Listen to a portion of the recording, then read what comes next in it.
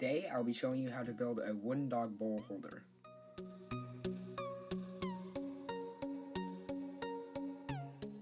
To start this project off, I found an old piece of cherry that we used for a shelf.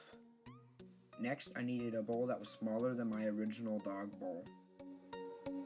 Next, I traced the bowl onto the piece of wood. Next, I use a drill press to drill holes into the wood.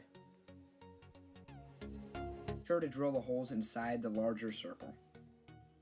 Once you finish doing that, your wood should look like this.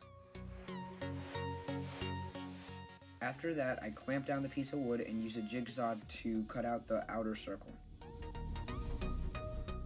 Make sure the hole is the right size before you cut out the other hole.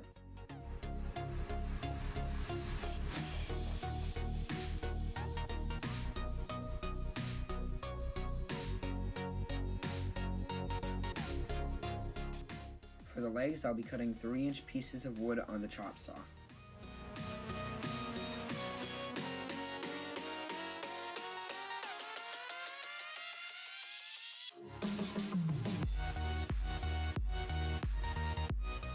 After I cut the legs, they look like this.